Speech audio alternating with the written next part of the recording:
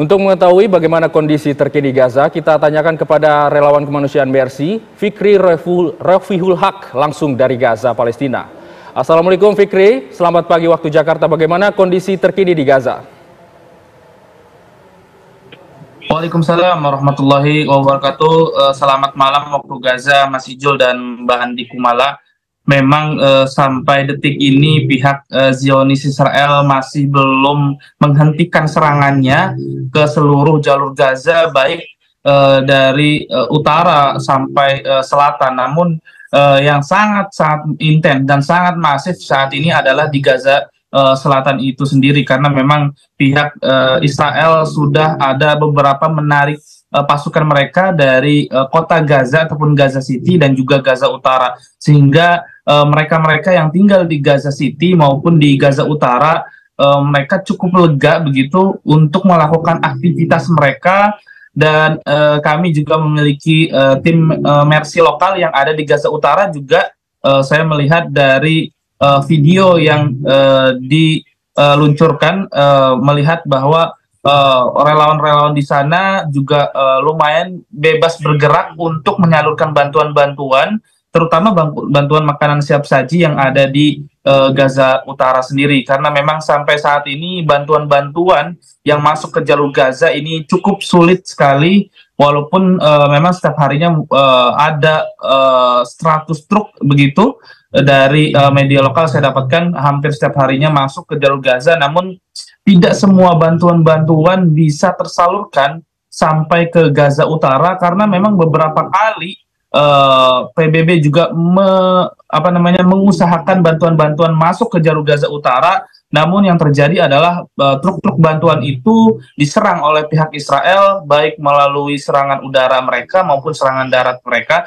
sehingga terjadi uh, kelaparan yang begitu dahsyat yang ada di uh, Gaza Utara maupun Gaza City ya karena mereka uh, sulit sekali mencari uh, pasokan makanan dan juga bantuan-bantuan juga sangat sulit uh, mereka dapatkan. Dan uh, saat ini dari uh, rilis Kemenkes uh, Palestina bahwa dalam 24 jam terakhir saja terdapat 103 uh, orang yang syahid begitu dan ada 145 luka-luka. Uh, Totalnya dari 7 Oktober lalu uh, sampai hari ini terdapat 28.576 warga yang syahid. Di antara mereka terdapat 13.000 adalah anak-anak dan juga 8.200 lebih dari uh, kalangan wanita. Dan juga terdapat 340 lebih tim medis yang meninggal ya baik dari kalangan dokter ataupun uh, perawat maupun tim evakuasi dan juga terdapat 126 saat ini ya bertambah uh, yang tadinya 124 jurnalis saat ini sudah bertambah menjadi menjadi 126 jurnalis. Dan uh, ada satu jurnalis juga yang uh, dibawa uh, beberapa hari lalu ke rumah sakit Eropa ya di dekat uh, tempat sekolahan kami mengungsi.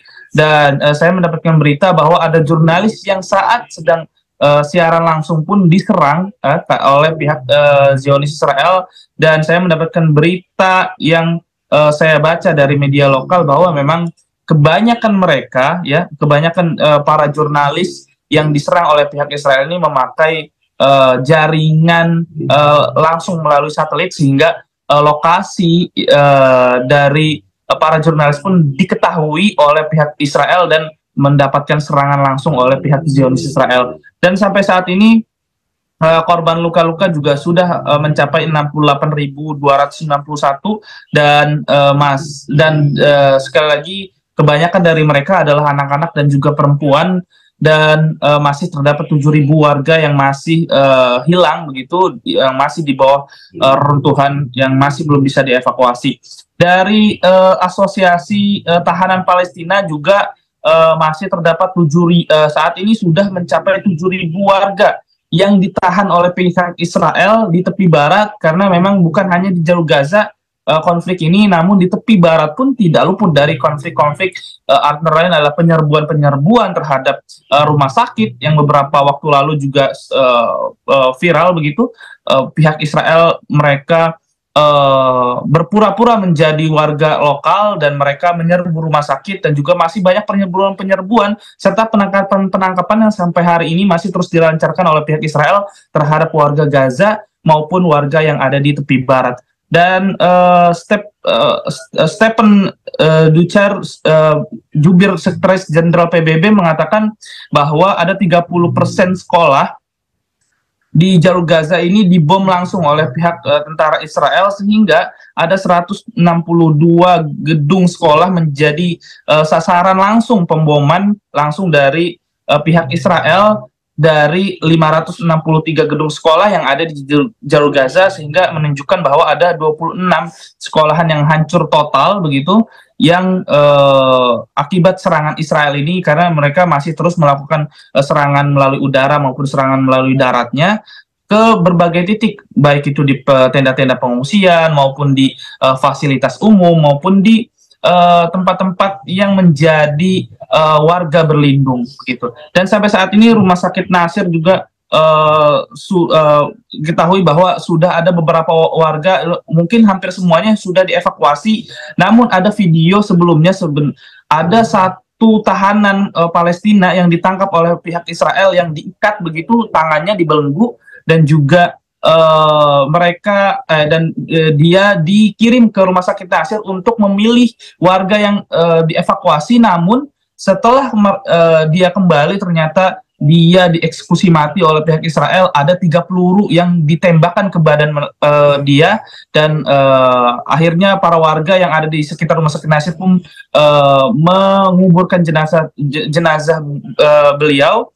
Dan sampai saat ini uh, warga yang ada di rumah sakit Nasir pun masih melakukan evakuasi mereka uh, mungkin uh, ke uh, kota Rafah yang ada di Gaza Selatan walaupun sebenarnya di kota Rafah pun menjadi uh, saat ini menjadi target uh, sasaran Israel dan banyak sekali korban yang meninggal dari uh, masyarakat yang ada di uh, kota Rafah tersebut.